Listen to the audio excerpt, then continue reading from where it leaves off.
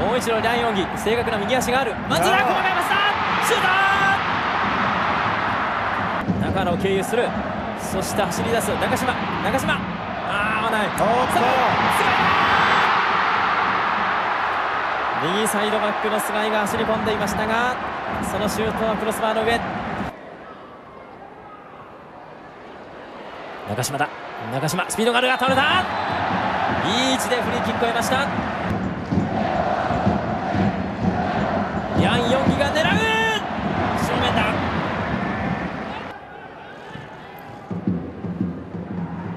村上のシュートだ。仙台時代から定評のあったこの村上のシュート。その村上は仙台を戦力外となって川崎で花開きました。ゲームのリズムっていうのを表しているような気がしますね。ここでまたしかしボールを取る。は関口チャンスなる。中島シュート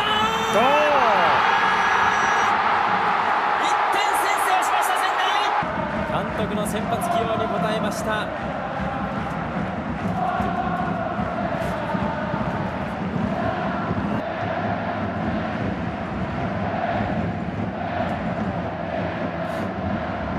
パークに対して田田坂が行く。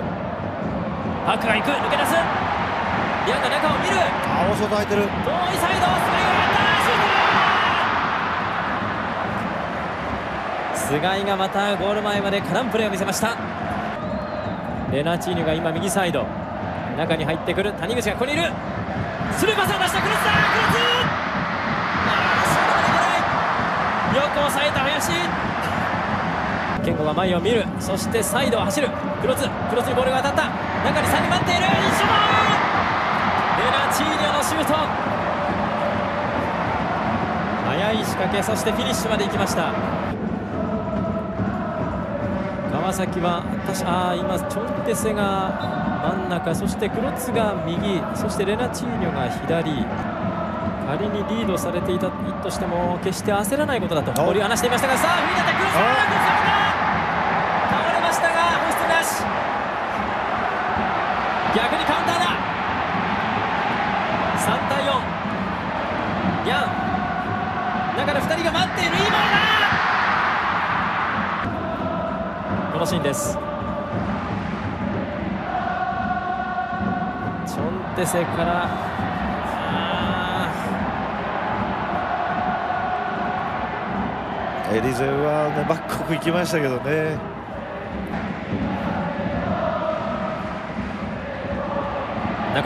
いいボールになった。ヤンだヤンのシュート川島がよく防いだカウンターがうまくはまりました仙台今度はレナチーニョ。レナチーニョが中に行く。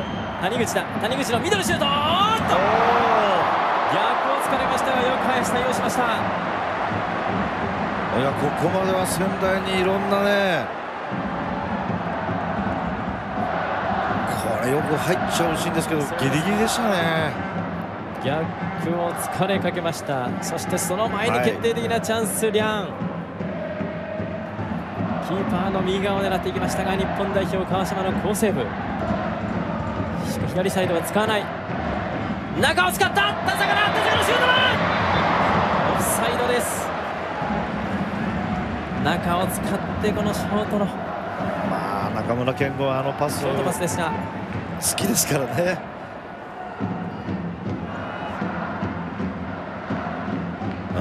際どいところですよ、これ。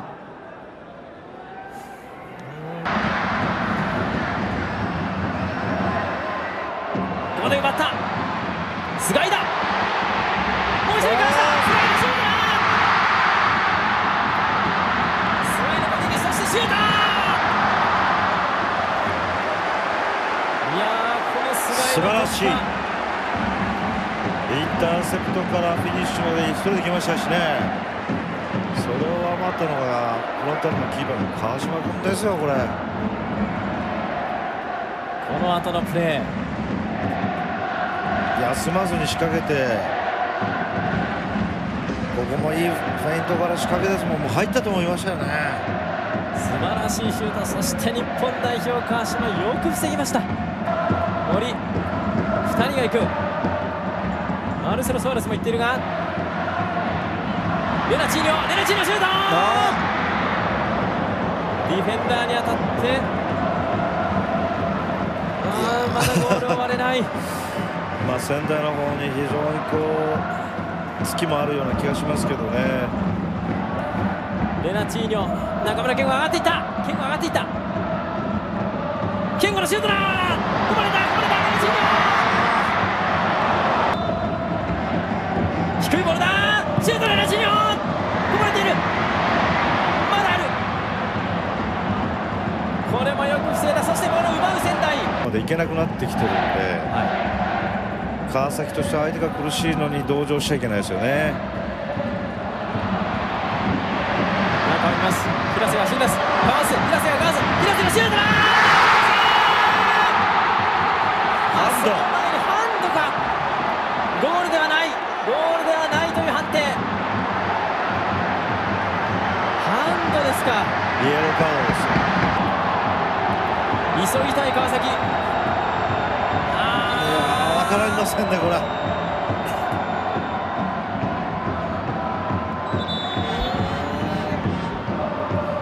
胸と腕とうん。両方でゴールの中に押し込んでいきましたが判定はハンド。あーもう足がつっています。この平瀬のクロス。体はごと押し込んでいってまあ正面の副審の方が見てるんで、まあ、そういうことなんでしょうね。中村中村のクロスだいいボー。ルだヒールで流した。木村のシュート細かいパスつなぐ。クリアする。さあ2対2だ。2対2の状況だ。まだスタミナある。マルセロ・ソアレススピードがある。ソアレスはスピードがある。ソアレスソアレス倒してシュート外を回る。森森が中に行く。狭いところ使う木村の遠いサイド。ゴー。ル空いているゴール空いている同点。追いついた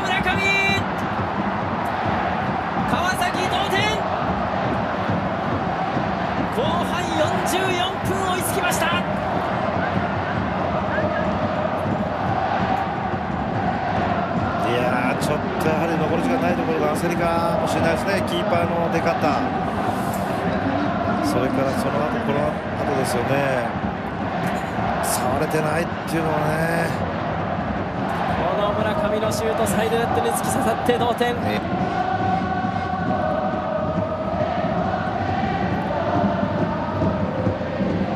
上がっていく。スライ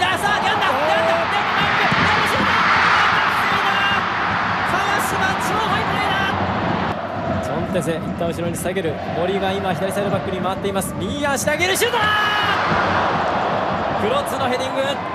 フロンターレビトール・ジュニオールが用意してます。リトール・ジュニオールは中盤から前線にかけての選手ですがさあ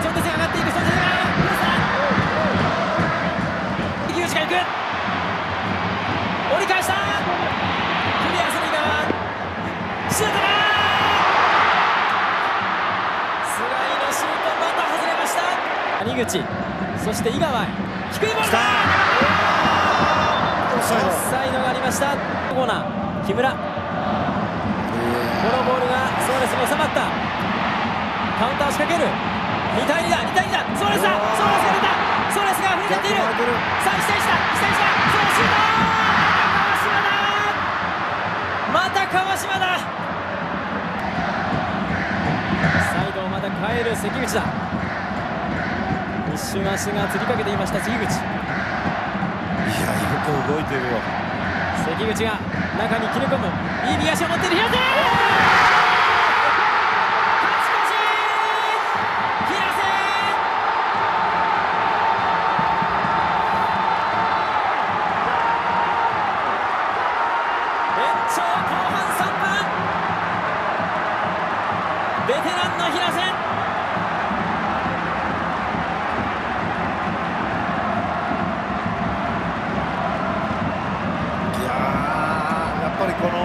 いやーやっぱりこのフィのシンプルさ速さっていうのが決定力に結びつきましたよね今仙台。そしてあの疲れていた関口からのクロスが正確でした、はい。これ多分平瀬自身はゴールというより流し込んだっていうイメージが強かったと思いますけどね。上はないクロス。中村健吾。健吾の左足浮いた上がっていった木村。木村が上がる。木村倒れた。フリーキックだ。ラストプレイ